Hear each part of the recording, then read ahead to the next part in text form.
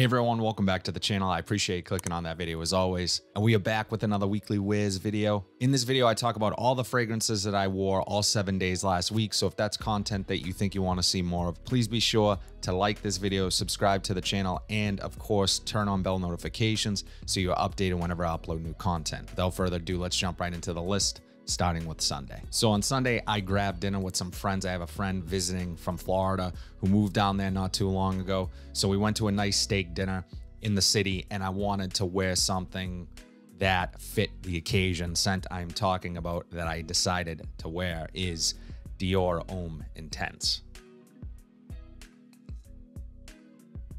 So this one, guys, many people, if you don't already know, hail this as a masterpiece 10 out of 10 fragrance every time.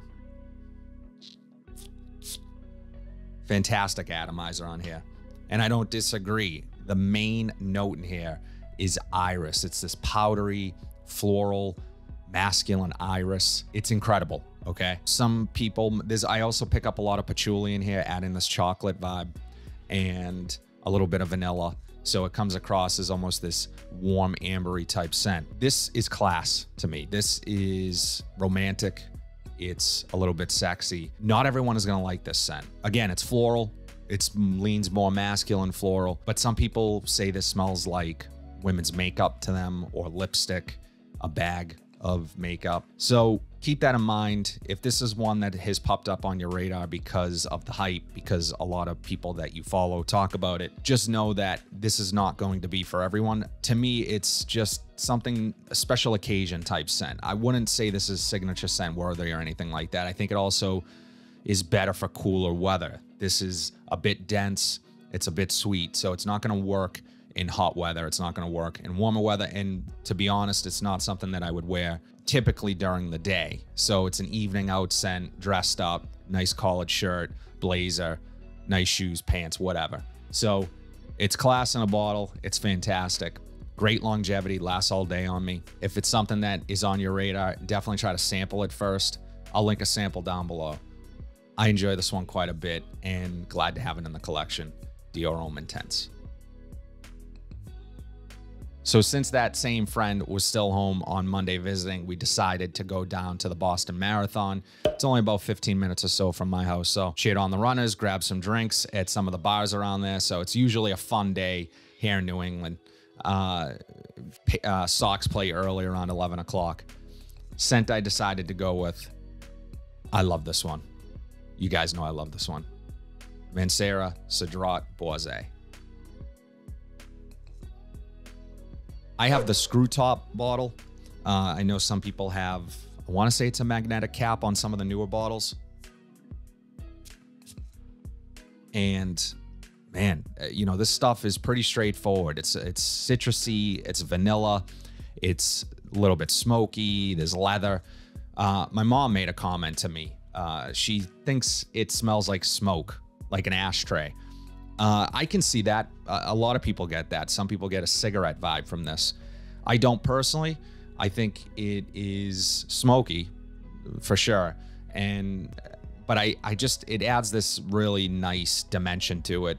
It's clean overall. It's fruity. The vanilla note in here is just, it balances everything out nicely. It's a little bit woody. Uh, this is a compliment getter for me. I think this is really appealing to a lot of people. If you're looking to get into a niche type fragrance, entry level, nothing. And when I say entry level, I'm not just talking about price, I'm talking about the challenge to wear it. This is not challenging, just an overall great scent. I get really good longevity. I know some people have mixed reviews on performance. So performance for me is great. This was smelling on my clothes two days later. So, uh, you know, this is one that might have to benefit from maceration a bit. One of you guys recently asked me if I have tried the intense version of this, and I have not. So let me know in the comment section down below if you tried the intense. Do you prefer it over the original Eau de Parfum? But personally, right now, I don't feel the need to upgrade from this. Um, so this is going to stay in my collection, and I'm going to continue to wear it, especially this summer. Mancera Cedrat Boise. Big shout out to one of my subscribers, Danny, who sent me this next one. And I talked about a fragrance that he sent me uh, last week, which was the sport version of this one. So the scent I am talking about is Cerruti 1881 Men. Now, this one is an old school uh, vibe for sure. I enjoy this vibe quite a bit. Decent atomizer. This is a cheapie, guys. Uh, really nice in the air. You get the juniper, you get the lavender. This is an aromatic fougere. It's going to be familiar. Uh, oak moss, uh, barbershop, timeless scent really versatile, uh, old school smelling. This was a 1990 release, but it harkens back to even before that, uh, scents from the 80s, maybe even late 70s with the use of the oak moss in here. So I really like this. It's clean smelling. It smells like you just left the barbershop. What I really like about this one, everything's really well balanced. I wish longevity was better. It doesn't last that long, but you're getting a really high quality fragrance. And this is one that you can overspray a bit, in my opinion. Great out of the shower. Uh, it's gonna grab attention. You're gonna smell clean and timeless. You know, you, you're not thinking about it too much. You're just a classy dude. You wear a suit maybe every day. Uh, this can be a great office scent. It just evokes success to me. And for such an inexpensive fragrance, I want to say this is somewhere in the $30 range, uh, possibly less, maybe a little bit more with shipping. But yeah, I just love the bottle. I really like the bottle. It has this really nice sort of uh, textured glass, and it's on the back too. And then the sides are smooth. It's a really nice scent. I'm definitely gonna get a, this is gonna get a lot of wear for me, uh, particularly out of the shower and even office settings, appointments, meetings, that type of stuff. Great scent. Thank you, Danny, for sending this. Cerruti 1881. On Wednesday, I had to go with one of the more hyped cheapies in the fragrance community. And I'd be shocked if you haven't heard of this one. This one has been super hyped for a while now, and for good reason. It's fantastic. It's a great cheapie. Scent I'm talking about is Mont Blanc Individuel. And you can see I made a nice little dent in there. I love this sort of flask style bottle. I don't have anything else like it. okay atomizer. You know, oh man, sweet, cinnamony, uh, raspberry, lavender, clean smelling, uh, similar to clean laundry. I get that vibe, but I also get a lot of cinnamon in here as well. And it reminds me of Joop Homme. So if you're a fan of Joop Homme, this is a more tamed, less floral, a little easier to wear in different situations. Joop Homme is more of a hey look at me smell me. I loved Homme i used to wear it in junior high. Um, i might have been the only kid in junior high wearing Homme but this stuff is just really nice. It can work in the day and it can work in the evening. And i actually prefer to wear this at night than i would in an office setting or to work because I think it grabs attention. It has this really nice sweetness in here that is comparable to other things that are hailed as sort of night out fragrances. I think this is a perfect night out scent that I think it gets overlooked for that use. Good longevity from this. I know this has been reformulated a few times and people aren't crazy about what the current formulation longevity is. I get really good longevity. So it's a full day for me. It's really all I need. It does sit a bit closer to the skin after an hour or so. I wish it projected a little bit more because it has all the elements in scent profile to really want to be one that projects and grabs your attention. But nonetheless, it smells great, and I love wearing this one.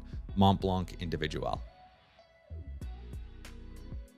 So on Thursday, I had to reach for another freshy, cheapy scent that is easy to grab. And to be honest, not one that has been very cheap as of late. If you see this one in the rack stores, it's gone way up in price, like triple the price of what it used to be. Scent I'm talking about is Missoni Wave. I'm just such a fan of Missoni. I love Missoni Pour Homme Parfum. It's one of my favorite fragrances. It's my top blue fragrance besides Sedley. So I, amazing scent. And this is no exception. Presentation, beautiful presentation. I love the gradient on the bottle. I love the cap, the detail on the cap, the Missoni on the top. And of course, the magnetic cap. And this is a damn good magnetic cap as well. Uh, really tight. So yeah, great presentation overall. Missoni Wave. This gets compared to Chanel's Allure Homme Sport, gets compared to Versace Pour and I get really a combination of the two. Great atomizer as well. Um, it has this really nice sweet orange citrus up top, mandarin orange, I believe. Uh, it's really sort of has this synthetic undertone, but in a good way. It's a little fuzzy.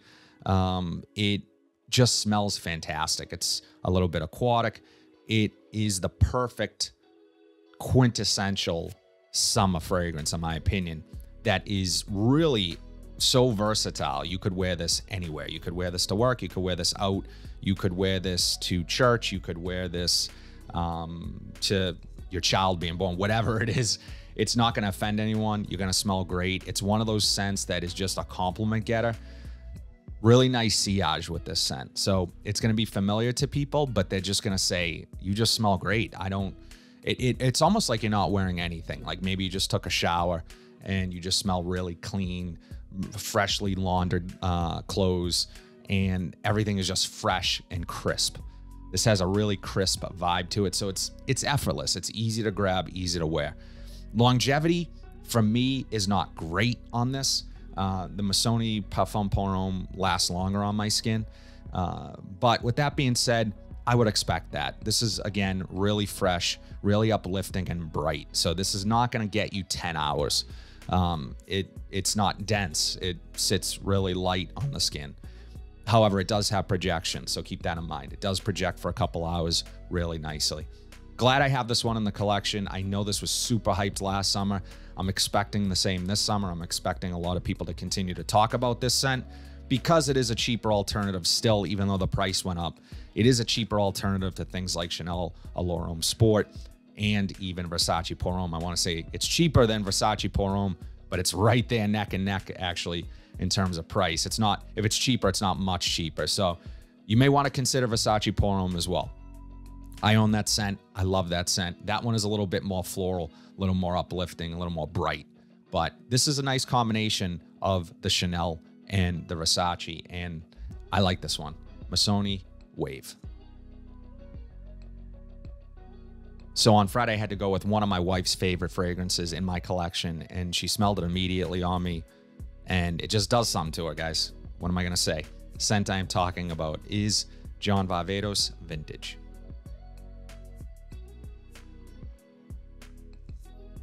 Now, I lucked out and got this at a Burlington for a really great price, but it's still really affordable on uh. I'll be sure to link it.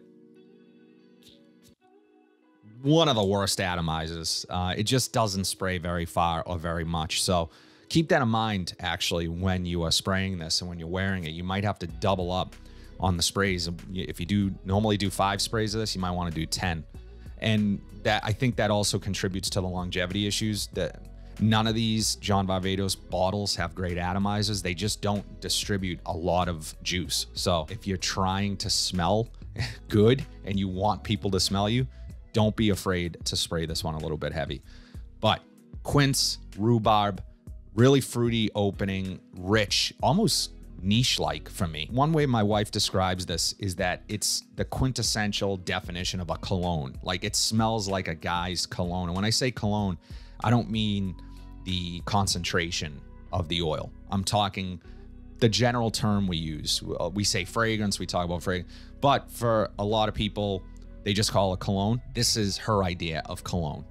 So, and I get what she says. It, it reminds me of kind of walking into a Macy's and what you would smell but that's not a bad thing. It's just really addictive, familiar, masculine, timeless scent, really. It has an old school feel to it, but with this modern twist. And I'm not really sure what's contributing to that, but it just works. It might be some of that fruitiness up top, that rhubarb. I think that is typical in some of these fragrances that have come out with a sort of modern take on their old school style scent, like a barbershop fougere uh, like a woody chypre or something. They will throw in an earthy sweetness to sort of modernize it a bit. This smells great. I would always have this in the collection. I love John Varvatos fragrances. I wish they lasted longer. Rodrigo Flores-Roux is a master perfumer, and he did a fantastic job with this line. Vintage is no exception. John Varvatos Vintage. Finally, on Saturday, I went with a scent that I just grabbed from TJ Maxx in my most recent rack store haul. So if you guys have not watched that video yet, please be sure to check it out. Now, what I'm about to say might be controversial. It might get people in the comments. I hope it does. but I like this. I know you guys are a bit burnt out on Aventus clones. I am too. Scent we're talking about is Loewe Esencia eau de parfum. Now, I may like this more than my Aventus. That's hard for me to say because I love my Aventus. I do. I am def- I defend Aventus because I still feel like it has a lot to offer this fragrance game. I think it hit its pinnacle of popularity, which when something gets super popular, people will try to bring it down. It's just what it is. Okay. People get sick of it. Now, this, on the other hand, is the most interesting take on the Aventus DNA that I've smelled of any clone, I guess you want to call it, or dupe. I don't consider this a clone of Aventus. I don't consider this a clone of anything, to be honest. I think it remind will remind you of Aventus, but there's just something about it. The qual from a quality standpoint, uh, the sort of focus on the green and the earthiness in here was just a really fantastic idea. This is a replacement to Aventus. I will probably reach for this more than my Aventus, and that's not a bad thing. I think giving Aventus a break for a while is a good thing. Letting the letting that maybe newer bottle that you have, I have a 2021 batch, letting that sort of macerate a bit and going back to it later. Longevity on this all day fantastic longevity, and the quality remains through and through from beginning to end. This smells great. You guys need to check out my video. I talk about it. My first impressions of this is the best way to sort of articulate how good the scent is. I'm enjoying this one. I'm looking forward to wearing it quite a bit this summer. Let's check out the atomizer real quick. I haven't done that. Great atomizer great in the air, so fruity and citrusy at the same time. Uh, beautiful scent. I love this stuff. And I'm definitely going to be trying more Loewe fragrances. I have one solo platinum, which I love. A lot of you guys mentioned Loewe 7 Cobalt, saying I need to try that. That's next on my list. Guys, if you can get your hands on this one, this is a replacement to Aventus. Loewe Esencia Eau de Parfum. That's all I have today. Let me know in the comment section down below what your weekly rotation was. I love knowing what you guys are wearing. It always gives me good ideas, and I appreciate you sharing that list with me. If you like what you saw today, please be sure to like, comment, subscribe, share this video, hit that bell notification so you're updated whenever I upload new content. But until then, have a fantastic week, and I'll see you in the next video.